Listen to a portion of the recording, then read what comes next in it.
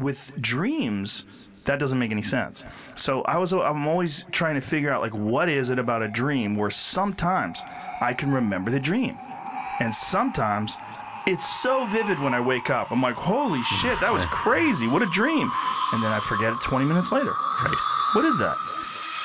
Dreaming is extraordinary, and for me, it's it represents a light in the darkness. And even in its most basic form, if you think about what dreaming is, it's being able to see extraordinary, colourful, light-filled worlds when we're asleep and we're in darkness. And to me, that's the most extraordinary and yet simple fact of dreaming. Till sunbeams find you.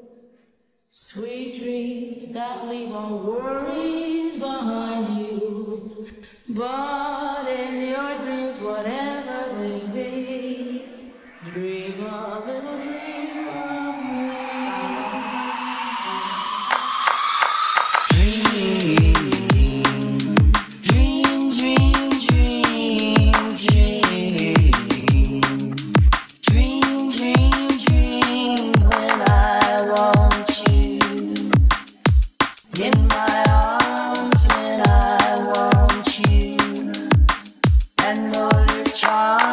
charms